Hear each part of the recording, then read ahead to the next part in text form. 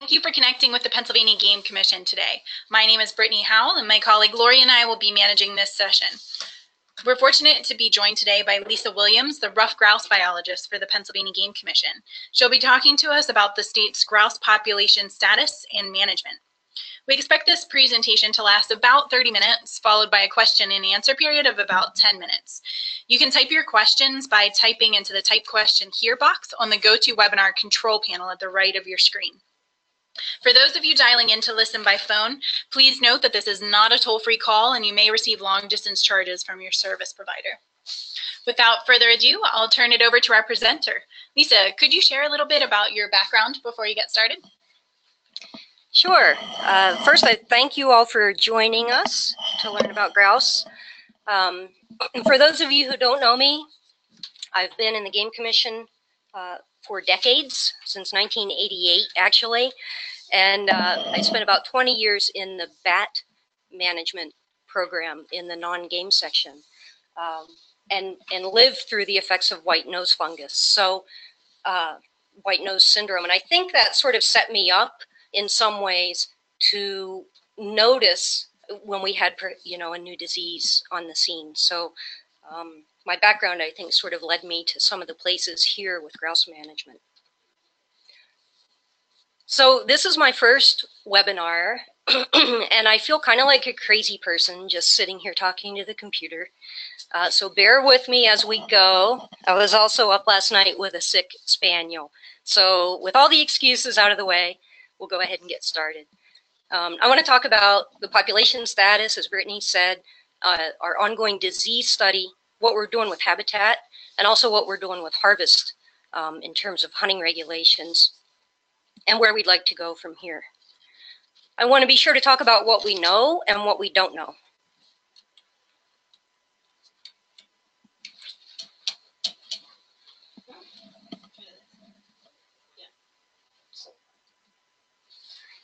Okay, my first technical glitch. Um, so when I talk about population status, the first thing I really think of, and you probably think of, is abundance.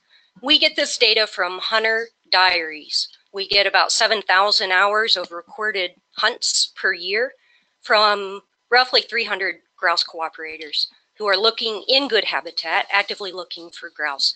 So it's a very strong data set. And this graph shows you the past 50 years of abundance data that we have going back to 1965. You can see this sort of tipping point that occurred in the early 2000s, where we had dramatic declines, followed by a pretty weak recovery, and then continued dramatic declines. So we have this uh, these record lows kind of accumulating at this point. The most worrisome thing about this is that we know this data is coming from good habitat. So populations aren't recovering even when their circumstances are, are good. Looking beyond hunter flush rates um, at grouse production, we have run a brood survey since 1981. And that's another way that I look at how the population is doing. So this graph shows you our June observations of broods in blue. July is in red. And the, you see that annual variation that you would expect with brood production. But the important thing to notice here is that June and July are tracking very well together. So if it's a good year in June, it's a good year in July. Um, and you would expect that. If production is good, we're not looking at the same broods in June and July, but if production is good, um, we should expect to see similar numbers um, if we have good production, good survival. And we did have that for the first 20 years of the survey. But beginning in the early 2000s, you see this difference. June and July are no longer tracking well together. You can see here that even though June production in blue is on an increasing trend, we're not seeing comparable numbers in July. Juvenile production we see in June is no longer being reflected by survival in July. In fact, these show record low years that again are accumulating here recently, just like we saw with flush, flush rates. This suggests that juvenile mortality may be one mechanism by which West Nile virus impacts statewide populations. I talk about West Nile virus because it coincides completely with that early 2000 tipping point that we see in grouse population. West Nile virus, for those of you who don't know, it's we typically think of it as a bird disease. It's carried by mosquitoes who bite birds, and the cycle then continues. Occasionally, a human or a horse will also get sick, but primarily at this point, we view it as a bird disease. It was first discovered in New York City in 1999 and started spreading along the coast. In the year 2000, started spreading up into southern New England and had entered Pennsylvania. By 2001, it jumped from New England into other parts of the country, and by 2002, it nearly covered the country, and it was in every county in Pennsylvania. So it was a new uh, emerging situation for our wild birds to deal with. When I was thinking about West Nile virus and you see the spread that it did quickly across the country, I knew that if West Nile virus was causing problems for Pennsylvania grouse, we should see it in other places also. And when I look at hunter flush rates for the mid-Atlantic states, again, you see that situation in the early 2000s where populations declined pretty dramatically. So the fingerprints went beyond Pennsylvania. But just because two things seem to be related, it doesn't mean that they are related. We couldn't say that this was all caused by West Nile virus. You could look at this and say, well, we had some terrible weather for brood production. Or you could say, boy, the predators were really taking a hit on grouse those first those years. So just because they seem to be related doesn't mean they are, but it was certainly a smoking gun for me to continue investigating the disease as part of the grouse problem. So in 2015, we developed a challenge study where we would actually see if grouse were susceptible to the virus. Um, a lot of related birds are not. They will be exposed to the virus, they essentially shrug it off. They may develop antibodies, but they really have no dramatic problems with it. So we didn't know what to expect for grouse. We started looking for wild grouse eggs across the Commonwealth. We needed chicks for this study that had never been bitten by a mosquito. So the best way to get that was to get them in the egg. We then transported those eggs to a propagator in Idaho who had a quarantine facility so he could guarantee that those chicks would not contact mosquitoes. He raised them to about four to five weeks of age, and then we shipped them again to Colorado State University to one of the premier West Nile labs in the country um, with Dr. Bowen. Gave them a couple days to settle in and then actually inoculated them with the virus to see what would happen. And this is what we found 40% of the chicks died within the first week. Remaining 40 to 50% of chicks lived through that second week. But when we opened those chicks up, they had organ damage to pretty much all of their major systems. This is the kind of organ damage that I'm talking about. On the left here, you see normal heart tissue. You see those nice muscle fibers neatly aligned. On the right, you see infected tissue. So in the upper right here, all of that purple is inflammation and you see those muscle fibers are, are essentially wrecked. In the lower right, this rusty color that you see is actual virus stained um, in the tissue of the heart itself. We saw similar damage in the brain of these birds. The study that was just published on this, um, and I'll give you the title here soon, it was in the Journal of Veterinary Pathology, their findings said, you know, based on clinical and pathological responses, mortality of ruff grouse may be as high as 90%. So the information coming out of this challenge study was very, very grim for birds infected in a lab. What we didn't know was if that really was relevant to our wild grouse. We couldn't just assume that what happened in the lab is what's happening out in Penn's Woods. So we went back to our hunter cooperators. We sent them these filter paper strips. and asked them when they harvested a grouse to quickly soak that strip in blood and send us a feather set. That way we could check and see, we're looking specifically for antibodies to West Nile virus, evidence that it was in the wild population. And this is what we found.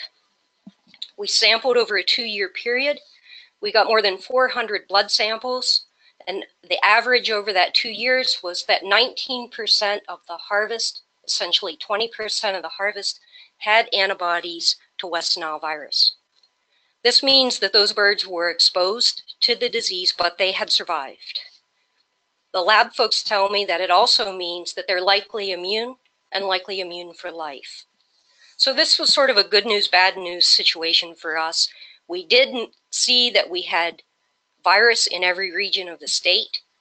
We saw differences between the regions, but we also saw that we had survivors in every region.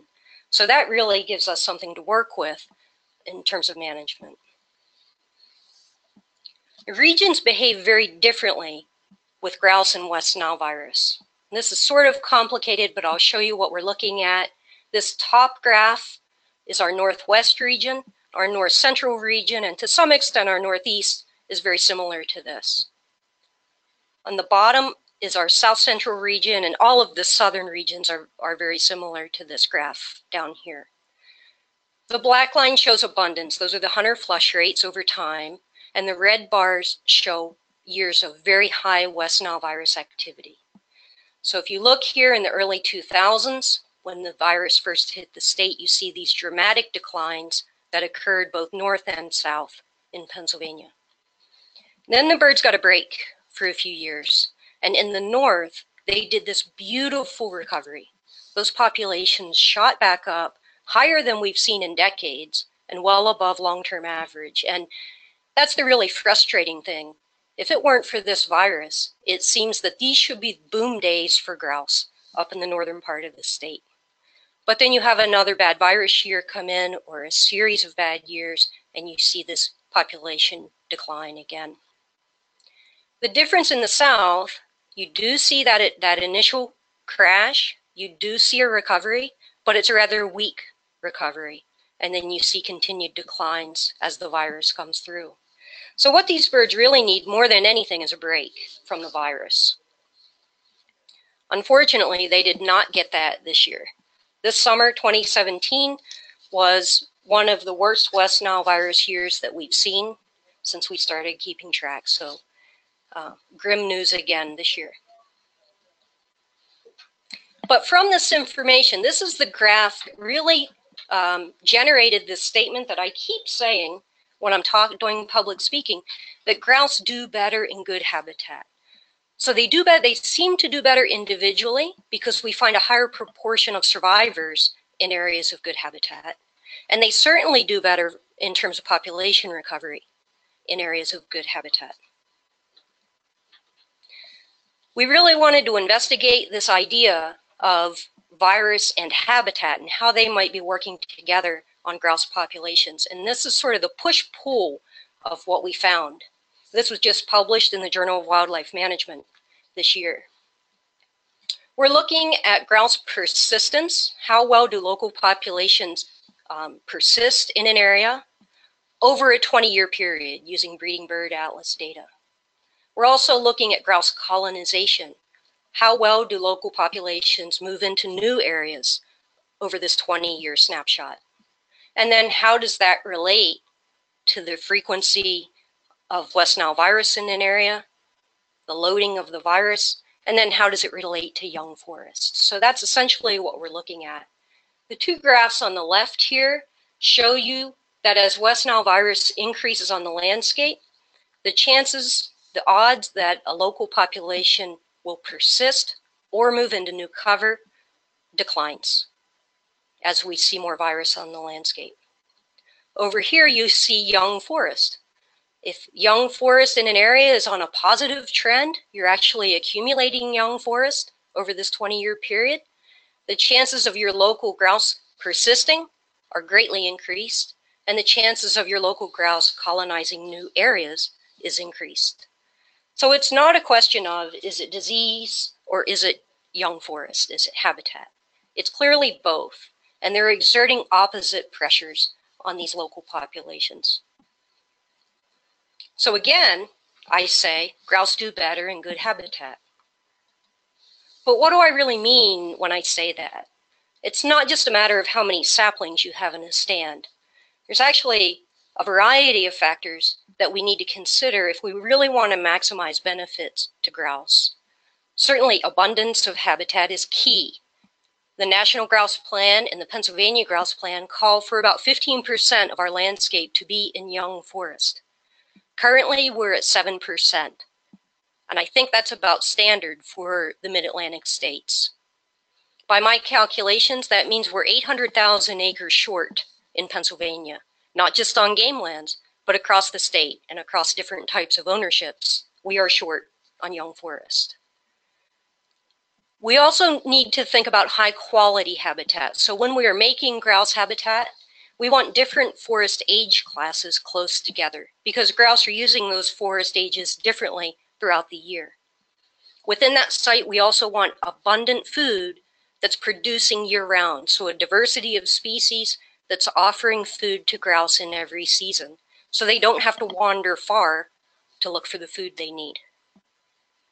We need these habitats to be well connected. Different grouse management areas need to be relatively close together because we want populations to be able to find each other. And we want young birds to be able to find safe cover when they disperse from their brood area. And then finally, in Pennsylvania, we have this issue of forest type.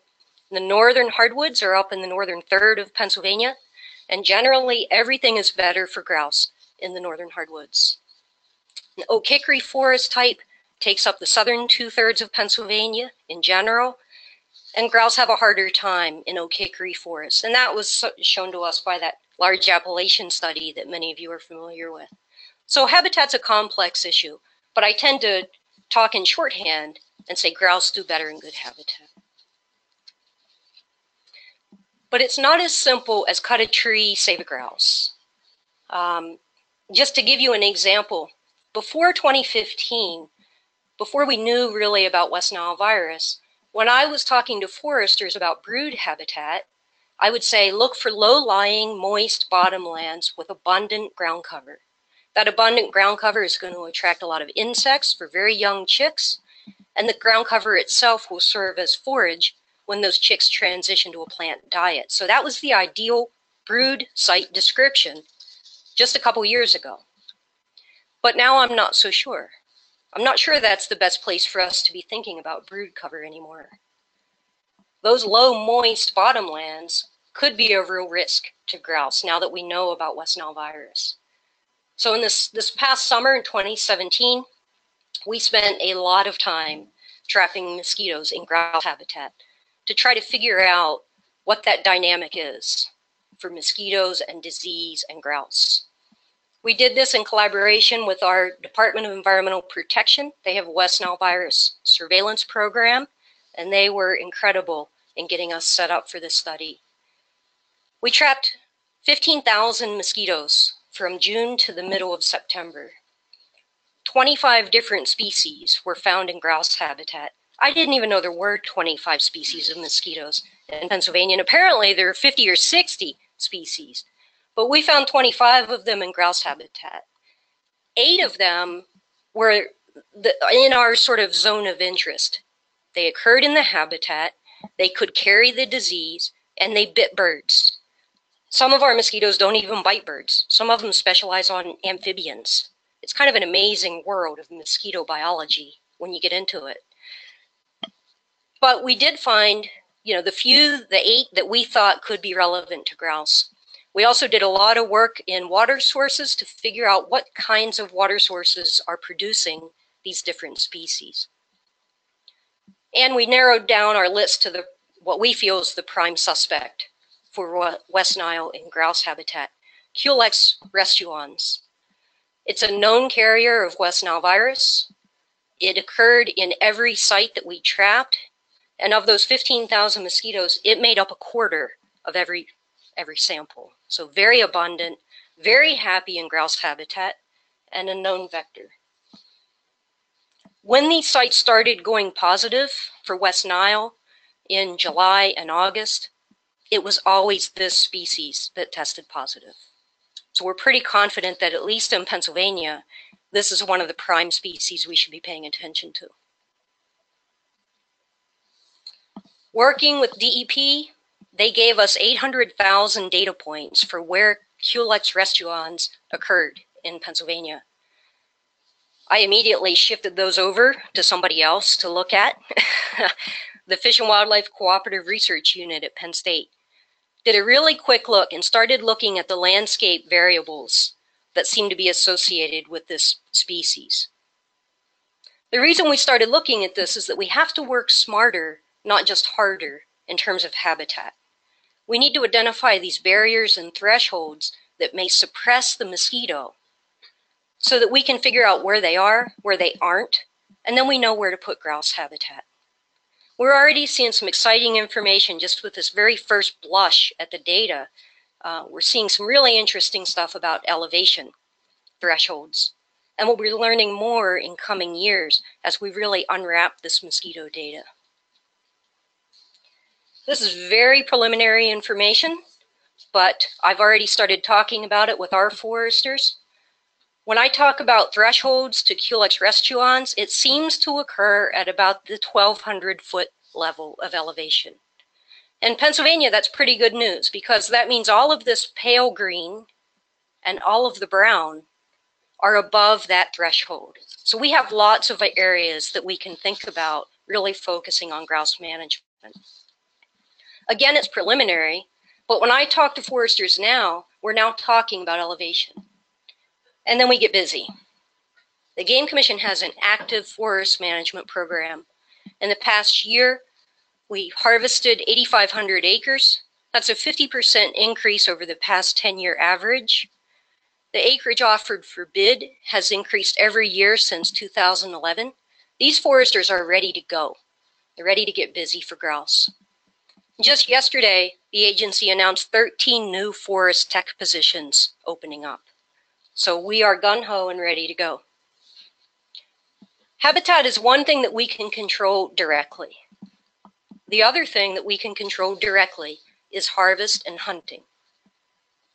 The goal of sustainable hunting is to harvest surplus animals that would otherwise die, typically in the winter. That's typically the highest season of mortality. So we want to be harvesting surplus animals in a population. We don't want to be biting into the bank account too much. This shows you the year in the life of a game animal. You have spring breeding, which then creates the summer surplus. You have a lot of additional animals in your population. You set your harvest so that you're harvesting from that surplus before that high period of mortality occurs because you know a lot of birds are going to die anyway in the winter. So you can put your harvest here and actually get that surplus into your harvested population. So does grouse hunting impact Pennsylvania populations? We don't know. And I'm very honest about that when I talk to hunters. And they say, how can you not know? Well, we don't know the harvest rate for grouse in Pennsylvania. We don't know what proportion of grouse we're actually taking each year relative to the entire population. What we do know is that the population math has changed since the early 2000s. Baseline natural mortality has increased. And that changes the math on hunting for us. We also know, unfortunately, that West Nile virus mortality occurs before the hunting season. So it's reducing that population surplus, that summer surplus, but we don't know by how much. Lots of unknowns with hunting and impact on grouse. But here's what we do know. Going back to this map of where we found survivors, 20% of our harvested birds have antibodies to West Nile and are likely immune for life. During the two years that we were collecting blood samples, 51,000 grouse were harvested in Pennsylvania. If we take that 20% figure and apply to the grouse harvest, it means that we probably harvested around 10,000 survivors of West Nile virus. If we roll that back out and think about survival, in terms of how many grouse survive West Nile, what proportion that 10,000 might be. I use 30 to 50%. That's pretty generous compared to what they found in the lab. But at a 30 to 50% survival rate, it means 10,000 to 30,000 birds may have died before the hunting season opened. And so that's what I mean when I say that summer surplus is being reduced before we are in the field with our bird dogs. So the grouse population is changing and we're going to change with it. I've developed a responsive harvest framework for setting future seasons. This provides a mechanism for the season to change as grouse numbers change. It would result in a conservative season when populations are low. When populations are high, it would allow us to liberalize the season and provide more hunting opportunity. The framework would rely on grouse abundance data that we get from our, our hunter diaries, grouse production data that we get from our summer sighting survey, with acknowledgement of disease risk. Fortunately, we have strong data sets to allow this approach to work. We have decades of good hunter flush rate data, summer sighting data, and we have nearly 20 years now of DEP's disease surveillance. These strong grouse data sets and this growing collaboration with DEP, the Human Health Surveillance Program, are assets that few other states have available. So if any state is going to try to turn this around for rough grouse, it makes sense for Pennsylvania to try. This approach provides a consistent and transparent way to establish the grouse season so that hunters know why and how decisions are being made. Now, we talked before about how population trends are very different in the north versus the south of Pennsylvania. We know these two regions behave differently in terms of population. We know they face differential survival pressure, and we know they face differential disease pressure. So the harvest framework that I've developed uses a split zone to set future grouse seasons. The northern portion and the southern portions will be managed independently from one another. It's based on the issues I've already discussed and with consideration of hunter opinion in 2015, we did a hunter, grouse and woodcock hunter survey, and we asked about a split zone. And we found that 58% of respondents supported that approach. So basically, this is how the harvest framework works. And this is how I derived the 2018 season recommendation that I presented to our commissioners a couple weeks ago. Season length is a product of abundance, production, and disease. When all these things look good, we would have a four week late season. For us, that starts the day after Christmas and runs through January. When all these indicators are moderate, we would have a one week post Christmas season. And that would be the most popular week, the week between Christmas and New Year's.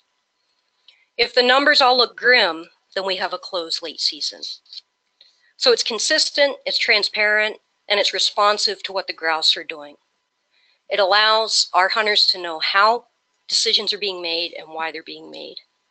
It's similar to frameworks that we use for migratory game birds and for other species in Pennsylvania, but it's never been used for grouse in Pennsylvania. We're in sort of new territory now. Now, when I talk about numbers being high or moderate or low, this is what I'm talking about. I just split the data into quartiles so that the top 25% of everything we've seen is considered high, the bottom 25% is considered low, and the middle 50 falls into that moderate category.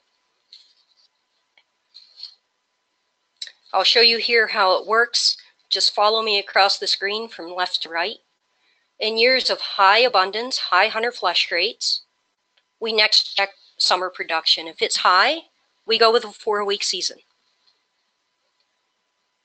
If summer production is just moderate, then we check West Nile virus. If West Nile virus has been quiet for the summer before, we go with a four week season. If it's been moderate or highly active, then we're drop down and we are more conservative with a one week season.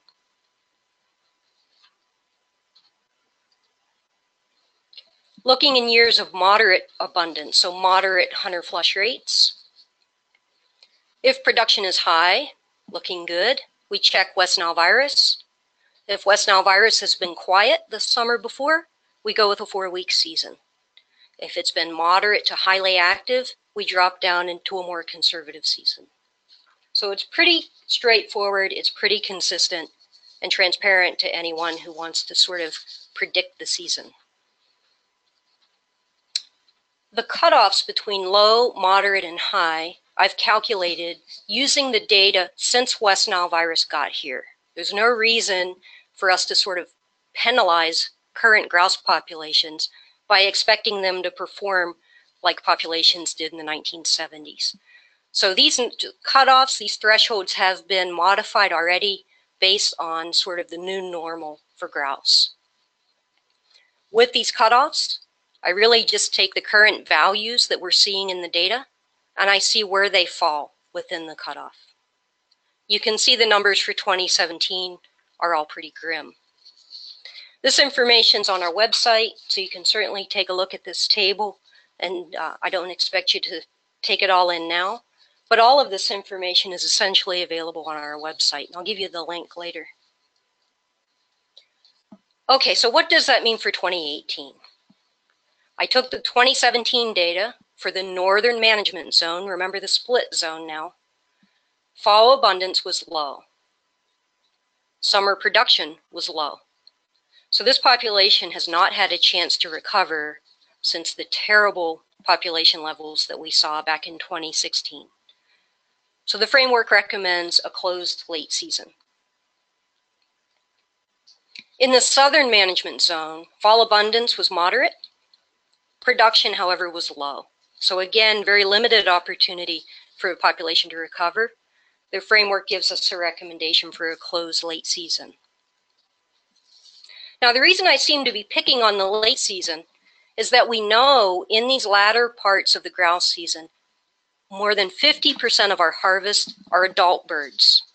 And we would rather have those birds moving into the breeding season, given the situation that we're in right now. The goal of all of this, the framework, the split zone, is to increase breeding populations, to bring up baseline numbers, move birds into the breeding season, particularly moving more adult birds into the breeding season. That'll begin here in March, April, May. I want to assure hunters that we will be assessing success over time. Just to be clear, we don't know if this will work. So we will be assessing it over time to see if it seems to be making a difference. I'll run two models in the background as we get new data each year. One will assume that we're making a detectable difference. And that's a pretty heavy lift to actually see with habitat, with disease, to actually see if harvest change is making a detectable difference. But one model will assume that. The other model will assume that we're not making a detectable difference. And over time, as we see which model behaves better, we should get an idea if we're on the right track. So grouse in Pennsylvania are in a pretty dangerous place right now. They're pretty vulnerable. Things feel a little precarious. There's really no way to sugarcoat that. I invite you to look uh, at our website for more information. I want to thank you for joining us to understand more about what we're doing here with grouse management in Pennsylvania. And I thank you for your passion to try to help us get, get it right when we're working for these birds. To see more about our grouse management, probably more than you ever want to, you can go to this link on our website.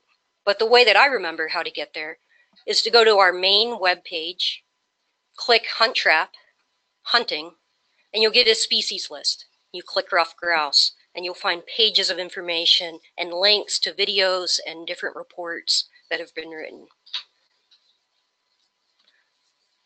To find out more about our forest management program, there's a link here to a 30 minute presentation by our chief forester that was given to our board of commissioners about two weeks ago. It's a fantastic overview of the management program, the challenges, the opportunities, and where he wants to take it in the future. You can follow that link, or you can go to the grouse page like we just talked about and look under the, the frequently asked questions. There is a question, what is the Game Commission doing about habitat? And that links back to this presentation. So I encourage you to take a look at that.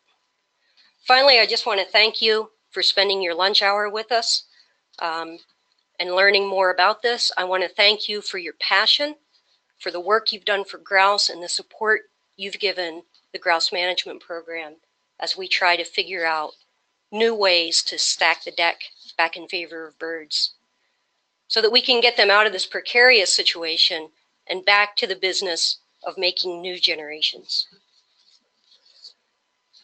I just want to thank our partners now, and I'm sure you can type in questions as I go here. First, I really just want to thank the Game Commission itself, my supervisors, the executive staff, and the Board of Commissioners for allowing me to focus on this question and follow it where it goes and peel back these different layers of the onion here. I want to thank Justin Brown, our wildlife pathologist. None of this could have happened without his enthusiastic support and his assistance in the field and his connections to the wildlife disease world and laboratories.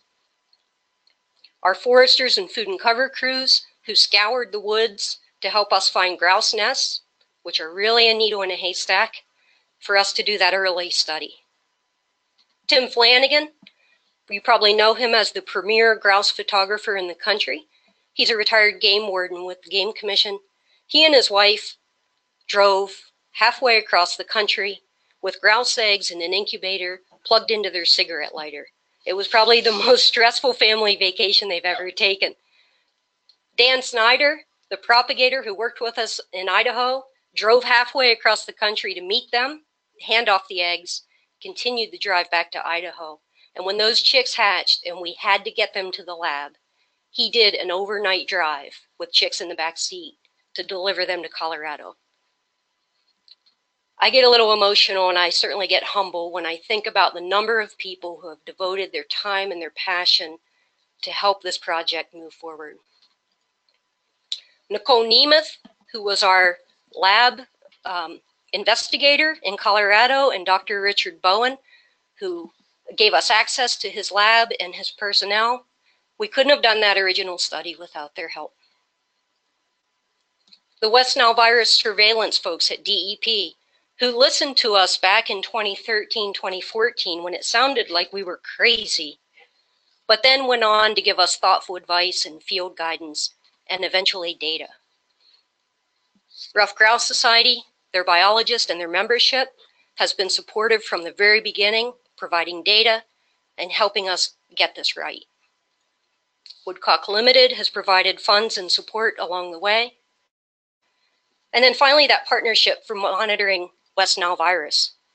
They've been collecting data on mosquitoes for 20 years, and I'm sure they never expected that it would be critically important to ruffed grouse management. But sometimes you don't know the value of data as you're collecting it. And then finally, the grouse hunters of Pennsylvania. I'm blessed to work with these people. They're passionate. Without this, their data, none of this would have been possible. They want us to get it right. They're willing to help us get it right. They've accepted some stunning bad news over the past two years as far as disease and changes in our grouse season. Yet last year, when I recommended that we close the late season, 72% of the hunters that contacted the agency were supportive of that.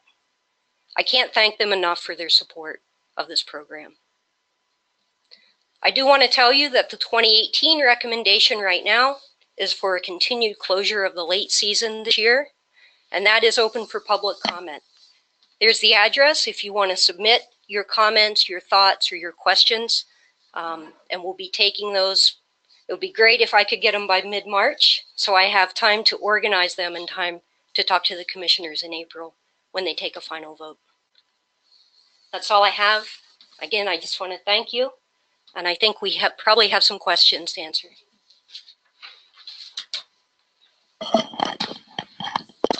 All right. Thank you for listening and thank you for your presentation, Lisa.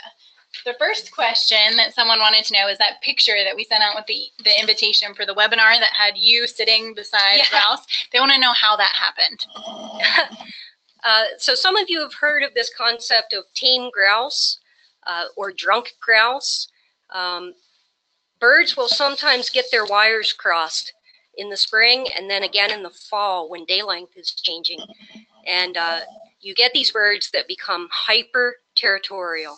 So they will come running out of the woods if you're chopping wood or you start up your ATV or you're hammering. If you sound like a grouse, they'll come running out of the woods and people will say, "Oh, isn't that isn't that friendly? What a great bird." But he's actually telling you to get the heck out of his territory. Um, he's not being friendly at all. And if you reach for that bird, he's going to go for you. So that particular bird in that photo was Bob from Warren County. He was discovered by some uh, gas well workers when they were working on the gas well, pounding and sounding like grouse. He came running out of the woods. Um, he has been a great uh, friend to us in terms of getting photos and getting video. But I think probably just right after that photo was taken, he uh, he hit me in the chest and told me to get to get out of there. So it's not quite the the peace and love that you think it is in the picture. Um, how do Pennsylvania grouse population trends compare with those of the Great Lakes states and other states since the spread of West Nile virus? Well, if you look, if you think back um, to that graph I showed of multiple states in the mid Atlantic, you can see that we're sort of all over the map. Pennsylvania tends to be pretty high in flush rates, other states are much lower in flush rates. But we tend to track pretty well together. Good years are good years, and bad years are bad. I really don't know how it compares with the Great Lakes states, and I don't want to speak for other agencies. Um, but I think you probably have all heard at this point that uh, there is some concern out there, in particular uh, this fall, about West Nile virus in the in the lake states. So I'm sure that they are considering, you know, all the things that we've been looking at here over the past two years. I would love to do a large geographic study looking at antibody levels across a big geography across multiple states. That's that's big on my wish list. Is there a correlation? I thought this was a great question. Is there a correlation between a decrease in the mosquito eating bat populations and an increase in the West Nile virus carrying mosquitoes? I can't give you data on that or correlation levels, but I can tell you that it pro there probably is not. Um, if you think about, you know, we want to harvest surplus population in any species, that's essentially what bats are eating in the in the insect population. Um, they're probably eating surplus individuals, probably not, you know, they were probably never critically involved in suppressing mosquito populations. Bats have a lot of different insects they eat, mosquitoes being just one of them. So it's very, very muddy when you start to try to think about, you know, did this affect that? Um, the biggest issue that we saw was just that introduction of this new virus onto the continent had uh, more influence really than any other factor. Several people asked this question. Are the antibodies of those grouse that you found that are immune, are they passed on to their offspring? Well, we don't know for sure. When I talked to Nicole in the lab, um, she said that in chickens, that's one closely related species that they have studied close to grouse. They do find that there are some antibodies that pass from hen to chick, but those antibodies tend to be short lived, really just kind of a bridge until the chicks develop their own immunity. So it may last two to four weeks if they're passed on at all. The problem for us with grouse is if chicks are hatched the 1st of June and they have two to four weeks of protection, that's probably waning as they move into July. And that's when our West Nile virus season really kicks off. So we're not sure about antibodies passing from hen to chick. We're not sure if they do, if they would really be that protective. My hope, then, is that at least the genetics that allowed that hen and that drummer to survive are being passed on to chicks. So um, there is a bright spot there, but it's not quite as nice as saying, you know, every future bird will be protected if, if this hen survives. Were the brood sightings done just on state game lands or were they done on other land as well? Our brood sightings, that, that 30 year history of brood sightings, are on game lands. They're done by our foresters as they're in the field working every day. So typically they're in the field maybe 20 days a month, 25 days a month. Um, and every day they're out there, they report a brood sighting or a zero because those zeros are also very important. We don't just want people who see broods to tell us that they're seeing broods. We need to know a good indicator every day if you're in the forest, what are you seeing? Will the percent of immune grouse grow over time? It should. Uh, if you think of West Nile virus as a, a big funnel that grouse have to now pass through, as those birds pass through and survive, they are carrying antibodies.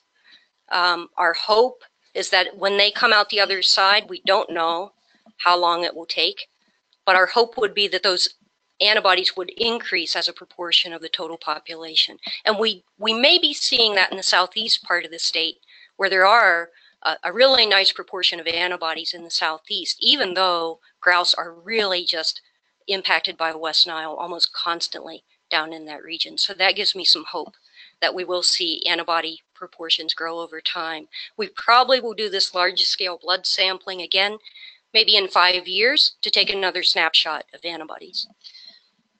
Are you considering expanding the closure of the grouse seasons to anything beyond that late after Christmas season? At this point, I'm not. Um, a third of our statewide grouse harvest happens in that late season. And the purpose really of the closure is to try to move those birds into the breeding season.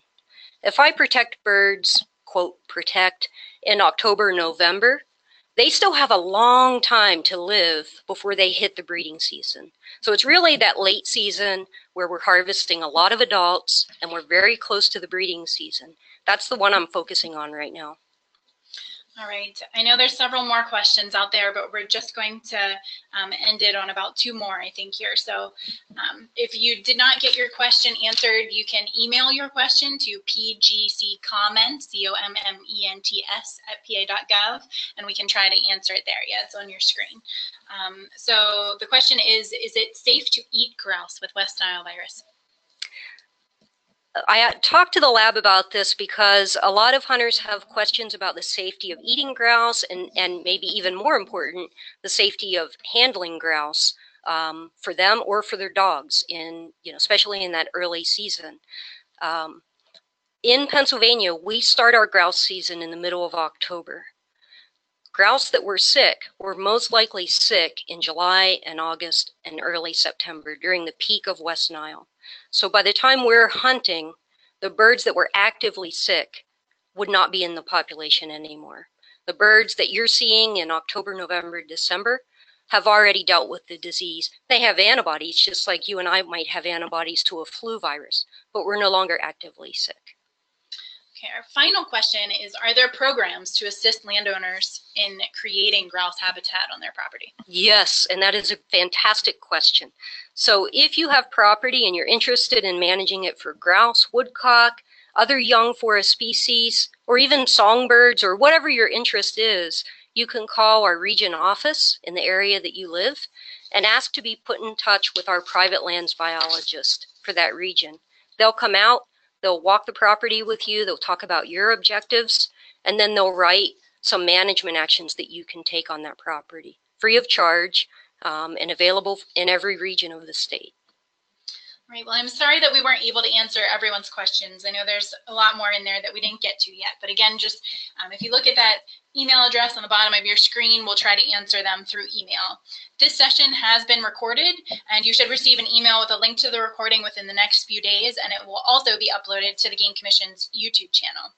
I'd like to thank Lisa for coming and sharing her expertise and time with us today. It was a really interesting webinar to hear about this cutting edge research with West Nile virus and ruffed grouse. Um, and we'd also like to thank all of you who participated in the webinar and took time out of your busy schedules to join us this afternoon. We hope that you'll join us again to learn more about Pennsylvania wildlife in upcoming webinars. Send us an email at that email address on the bottom of the screen if you have a webinar topic that you'd like to see us cover. Until then, we hope you're able to get outside and enjoy some of Pennsylvania's great outdoors.